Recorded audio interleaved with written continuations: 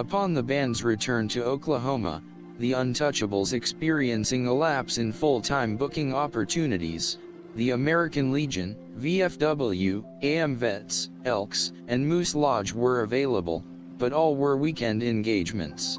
Additional efficacious bookings required delving into uncharted quarters. Gary, Jerry, and Glenn paying a visit to Medicine Park named after the Medicine Creek which flows through the center of town. The settlement was established on land purchased by John Elmer Thomas, a future U.S. representative and senator in 1908, who envisioned a resort community to utilize the pure medicinal qualities of Medicine Creek, which were well known by the Plains Indian residents. Thomas naming the constabulary the Medicine Park Summer Resort and Health Spa. The prospective musicians visiting the management of the Medicine Park Hotel the structure, a defunct cobblestone and wood placard at the entrance to the 60,000-acre Wichita Mountain Wildlife Refuge. The three-story hotel being completed in 1915. The 50-room hotel featuring a ballroom annex, the focus of social activities in the 1920s and 30s. The nearby wildlife refuge in Lake Lawtonka attracting thousands of people each weekend and throughout the seasons.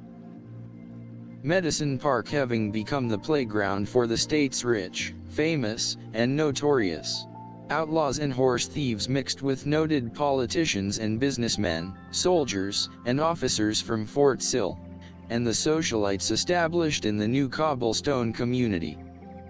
The town's colorful history filled with such figures as Will Rogers, Al Capone, Bonnie and Clyde, Pretty Boy Floyd, Bob Wills and the Texas Playboys became entertainment regulars from 1929 through the late 1930s. With numerous other famous bands of the day who made their way through Medicine Park en route to big city venues in Oklahoma City, Dallas, and Fort Worth.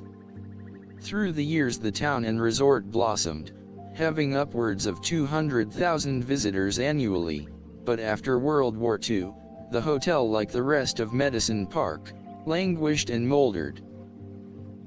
On a given weekend upwards of over 400 patrons would endow a dollar to enter the hotel portals, dancing and quenching their thirst for music and the amenities. The band's preparation included acquiring printed handbills, distributing them in the commercial parking areas of Lawton and outlying areas to broadcast their upcoming appearance. The Medicine Park location, with its proximity to the wildlife refuge was secluded but still accessible to the local constabulary and the thousands stationed at Fort Sill. The results of their visit, the two making a cover charge percentage agreement, the band providing a weekend musical interlude. The weekend found the cover charge gratuity far exceeding expectations from a large diverse attendant. The nightlife possibilities of Altus was still a viable prospect, the town being representative of most military towns, the band having performed at the non-military affiliated Colony Club, and Gary and Jerry at the Pink Elephant with the Rhythm Tamers. The band approaching the base NCO and officers clubs about bookings, discovering they were contracted months in advance and essentially used on-post groups and with the VFW and American Legion remaining mainstay engagements for Friday and Saturday nights. Gary questioned whether it was the VFW club's prominent music, or the club's augmented game room that solicited the crowded weekend customers. Inside the VFW, positioned at the entrance to the club's game room was seated an uniformed deputy in full regalia representing the Jackson County Sheriff Department.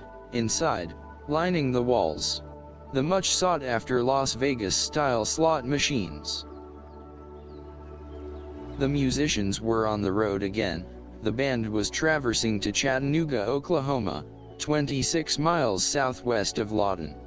This small community of 500 was hosting their annual fall barbecue and rodeo. Don Red Eye Kinder, a benefactor of Troy Eledge, and the disbanded Rhythm Tamers having contacted the Untouchables to replace the Tamers. The band to perform at the late afternoon rodeo and barbecue event, followed by an evening moonlight dance. The band setting up on a flatbed trailer adjoining the erected rodeo circuit arena, to address the gathered array with several appropriate country songs. Don Kinder presiding as the public address announcer for the rodeo event, beginning with a welcoming announcement to all in attendance, naming the dignitaries responsible for this annual showcase occurrence. It was the final announcement that froze Glenn, Gary, and Jerry. Over the public address system came a proclamation, Would you all please stand as the band plays our national anthem?